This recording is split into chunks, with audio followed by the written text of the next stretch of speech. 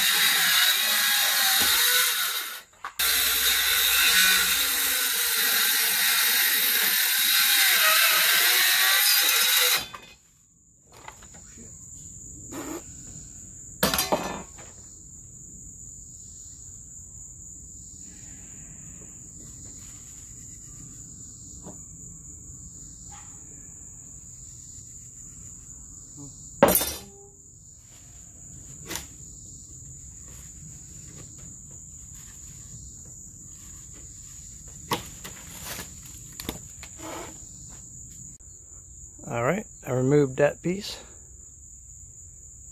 Now I need to measure it, cut out a piece to replace that.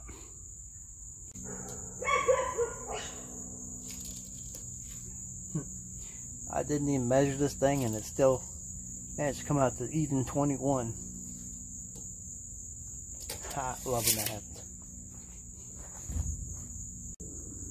Yeah, no wonder why I had trouble with that shelf. This came from that shelf that I removed from the first video. Look at this. Okay, so if you're wondering what I'm doing, I need to brace this piece up because if I just put it in there like that, it's not going to be strong. So I need to put in a piece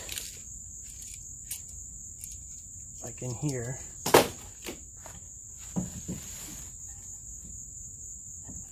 I put it in there and then put screws in it, screw this, and then did the same on that side.